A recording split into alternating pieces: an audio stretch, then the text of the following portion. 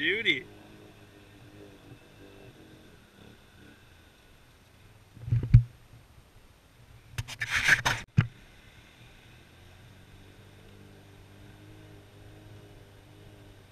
With the smoke for style, though. Yeah.